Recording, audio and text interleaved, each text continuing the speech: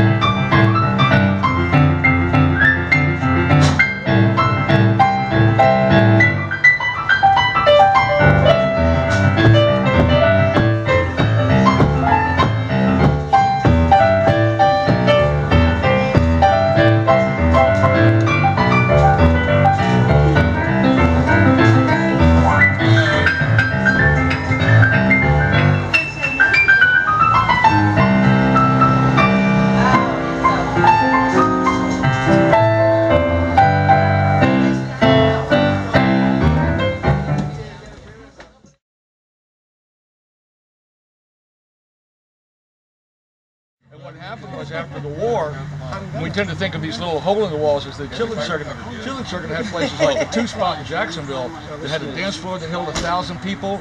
It had balconies for another 500 people. They would get Count Basie and Fletcher Henderson in there on the same night and have them go out until six in the morning. Can you imagine? And a lot of that was a result of the war and people having money for the first time in their lives. Because you remember, our parents' generation the depression. We all grew up, remember hearing that about the food and all that. And then they went through the war. Those that survived the war got combat pay. And women worked in the factories. Remember that whole everything shifted because of women moving to big cities and that kind of thing. They had money for the first time in their lives.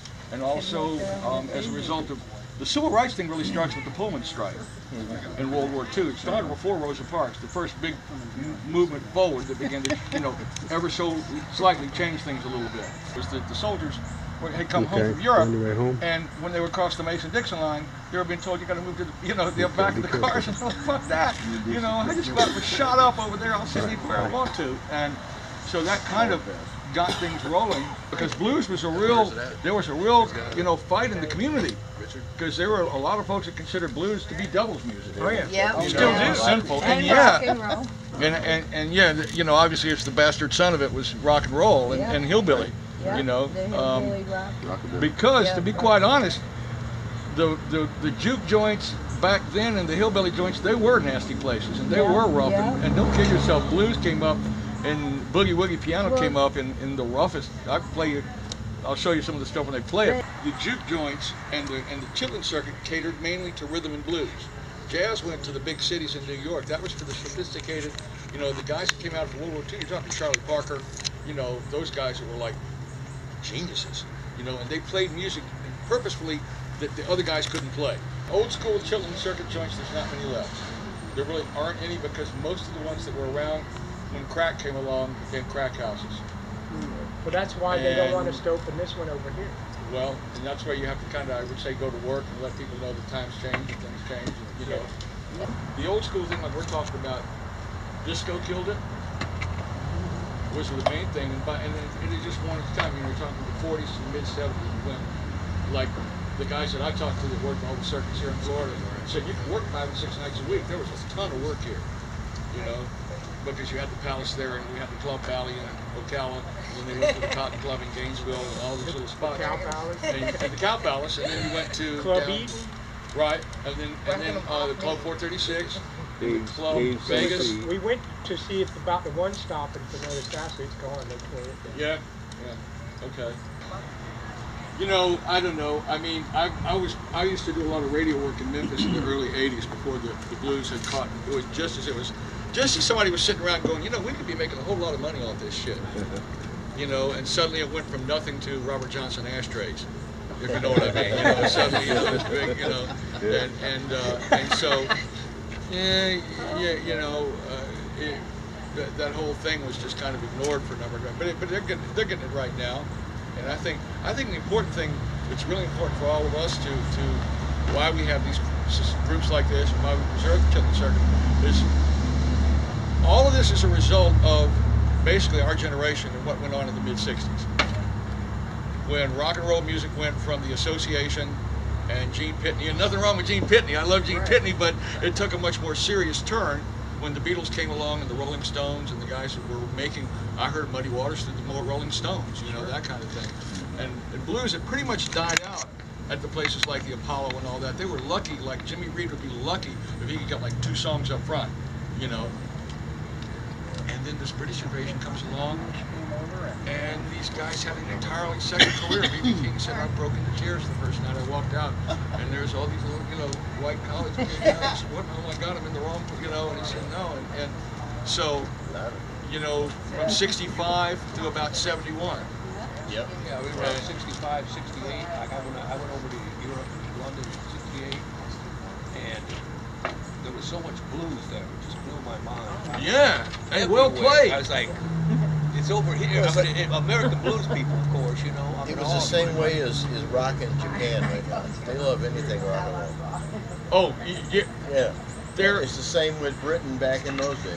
Well, they I would could- smuggle into U.S. records and listen to the blues music. because they didn't have, you know, I sell vinyl now. I sell collectible vinyl, and some of my biggest sales are, you know, they don't mind paying 75 bucks for a Muddy Waters record. You know, that's no problem. Um, back in the day, there weren't. You're right. They weren't distributed over there.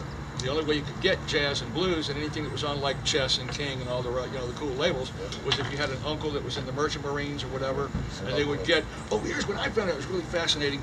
The blues and the whole thing caught on as a result of art schools in London and England. Art schools were a phenomenon that came out after World War II. Well, Skiffle had a little bit. Well, Skiffle was in there, but I'm saying the whole folky thing and all that. You know, art schools were sort of a, you know, they have that whole class system over there, and it was something that working class. It was kind of the first time that the arts had been presented to like working and middle class kids as an option. And the art students were the ones that would catch and listen to these authentic, you know, they would get the Lead Belly records and all sit Well, that's around. what and- Peter Green and you know, all them were. And that's where Mick Jagger and all those guys were art students at the time, and they all heard this stuff, and like you said, they went absolutely insane over it. What was it? Keith Richards. I was wa- I had the documentary, and he was an art student Yeah, and and uh, Yeah. played guitar player. Yeah. and that's Lennon, just, too. you know, that's just weird. And see, Lennon met Yoko at, her, at one of her exhibitions. and that's that one of years that's one of those things you could never think about or hear about, and, and especially with that good weed, it's like, you know, makes you think. No, you know, I mean, um, and so I, the thing is this: is that that I think it's real important that we tell the story and we tell it correctly, and that our generations, the kids that have come along, the grandkids, and all that, will get the story and get it correct. and, and find out who really did make a difference. And yeah, these guys were cool and all that, but no, we were listening to people like Muddy Waters and Jimi Hendrix and Commander Cody and all that other stuff that you don't hear on, you know. You, The you ran into James Oh, absolutely. And Lucky. He was a good friend. Luck, Lucky not so much, but James was truly Yeah. a good friend. Can I say something for a minute since you Sure, said that? sure. We, we have an obligation to keep this on. Um, what we're doing in Dade City, we've got a big thing there. I mean, we've not only got that, we've got a place called Moore Mickens, Uh-huh. which is named after a black educator and his, uh, and his wife were in Dade City. and they've re, they've done the schools where they were going to tear it down, but the community saved. Okay, my idea now is to link up both of those, the Cow Palace with this somehow, way, shape, or form. To link up and the be able to, because we got the school where we could actually do something to where you could, you know, peop somebody like you that's knowledgeable could come in and we could make a difference, where we can connect that back with the schools.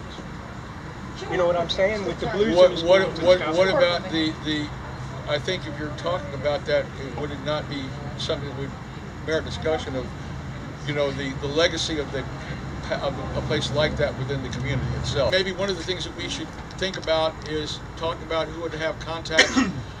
I'm with WMNF, we don't really have much contact in the TV side of things, but radio-wise, you know, anything we can do for you station-wise, you're always, you know, the door's always open there, and on my show, you can call in any time, especially if you've got an event, and, you know, we'll publicize it for you. Cool. It's, you know, a done deal.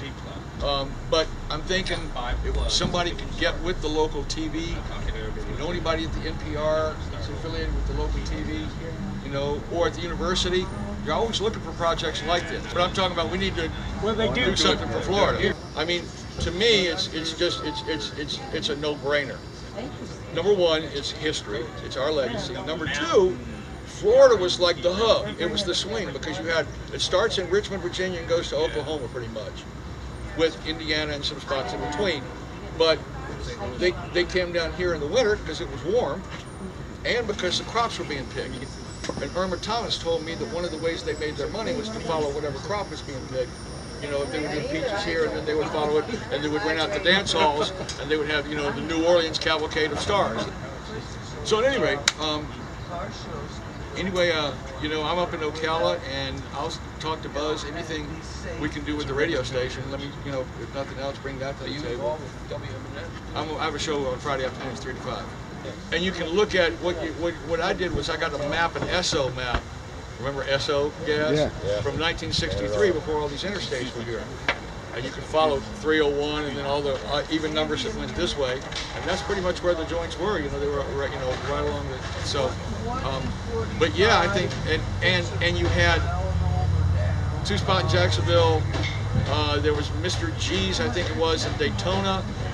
Then you had a little place in, in uh, a couple little places in Cocoa Beach. Then you get down to um, uh, Fort Pierce. There was one there. Then you get down to Deerfield Beach. Deerfield Beach is the home of Sacred Steel. You know what that is? Yeah, the- Okay, that's the home of Sacred Coast. Steel, and Ocala's the second home of it.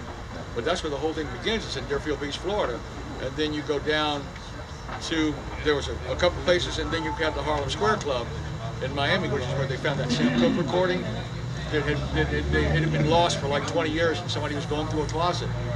And it says Cooke Live Harlem Club, and it was a live recording with King Curtis. Un, un, unbelievable. It was like three months before he, he lost. I think the only place left is is uh, Bradfordville, and that was you know that's been kind of resurrected. But but um, you know there was a, there was that whole chain, and then there were the one you know you had individual one nighters in there. But but yeah, this was a uh, uh, it was it was a long this trail as we know it that rock and roll was born because it's where the rhythm and blues and they began to play it with a different backbeat and the smaller combos were popular because during the war you had a lot of guys went off to war and you couldn't support the big bands anymore because of gas ration. So these big bands got to keep shrinking down, and Louis Jordan was one of the main guys that started that. And he came down here, and the people down here drank a lot more, and they were a lot rougher places, and they wanted to hear that backbeat. They didn't want to hear that. They didn't want to hear Don Juan, rodeo, drinking wine, you know, and anything about anything about words that began with F, they were up for, you know.